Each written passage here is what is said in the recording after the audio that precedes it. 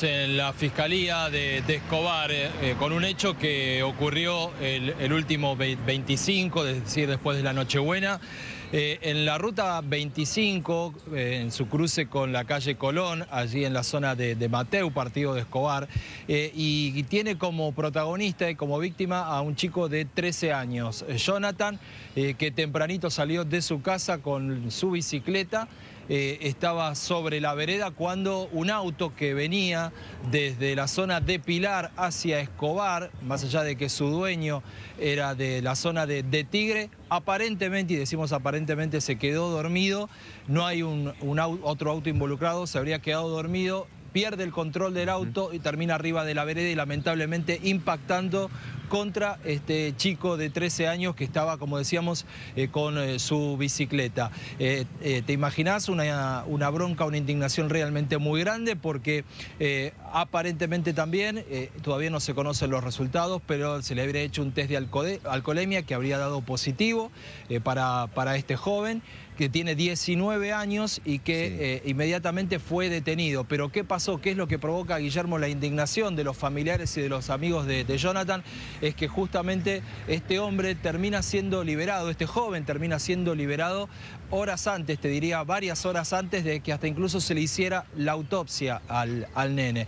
Eh, con lo cual eh, la, bronca es eh, justamente por el, corto espacio de tiempo que, estuvo detenido, lo rápido que aparentemente se hicieron las pericias por parte de la policía y de la justicia y la inmediata liberación de este joven de 19 años que quedó justamente imputado por la muerte de, de Jonathan, pero en libertad. Y como no tenían justamente respuestas de la justicia, de la fiscalía, porque la familia no recibió ni información ni contención hasta, eh, hasta estas horas en donde un abogado pudo venir a ver en qué estado estaba la causa. Bueno, vinieron esta mañana aquí a la, a la fiscalía de Escobar a ver si el fiscal justamente los atendían.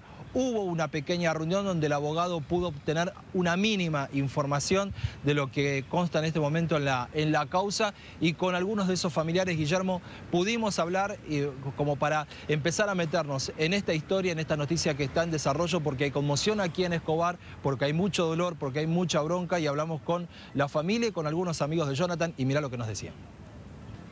Lo que tenemos entendido es que el lunes, después de haber festejado Navidad, el nene había quedado con la hermana y con algunos amiguitos de ir al río. Entonces él lo que hizo fue agarrar su bicicleta e ir a cargar la sube. Aparentemente cuando él estaba volviendo, que venía como digamos de la mano de Pilar hacia Escobar, un auto que venía de Escobar a Pilar, el conductor quedó inconsciente, no sabemos si estaba borracho, no lo sabemos, se cruzó completamente, lo llevó puesto y lo mató. El cuerpito quedó tirado entre en la ruta 25 entre un negocio que está para Holman y Induca, que creo que es una fábrica de pintura. Eh, y bueno, lo que estamos reclamando es justicia, porque este hombre quedó libre ese mismo día. Antes que le entregaran el cuerpito, el hombre ya estaba libre. Eh, hay un sereno en la fábrica que supuestamente vio todo, no quiere hablar. Queremos pedir que también la cámara que está en la fábrica, que por favor entreguen las imágenes porque es muy necesario. Eh, nos dijeron que desde el municipio que no hay cámaras ahí. ¿Cómo puede ser que no haya cámaras en esa parte, justo en esa parte? Es una ruta, es, un nervio que, está comunicando dos grandes ciudades que son Escobar y Pilar. ¿Cómo no, no va a haber? inclusive no hay semáforo ahí. Y esto es algo que se pide hace años, porque es un lugar que puntualmente hay muchos accidentes.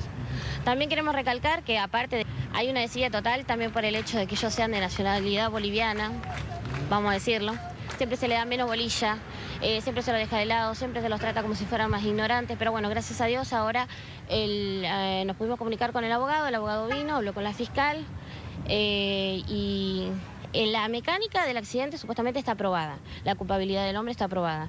Lo único que estamos esperando son las pericias eh, de sangre para saber si el hombre tenía alcohol en sangre, porque supuestamente según la policía no estaba alcoholizado. Convengamos que venía de festejar el 25, no es muy creíble que no haya tomado. ¿Qué tenía Jonathan? 13. Estaba arrancando a vivir. ¿Y, a qué hora pasó todo esto? A las 6 de la mañana, aproximadamente a las 6 de la mañana. Él estaba contento porque se iba al río con la hermana, iba a seguir festejando Navidad y bueno, y pasa este loco y le arrebata la vida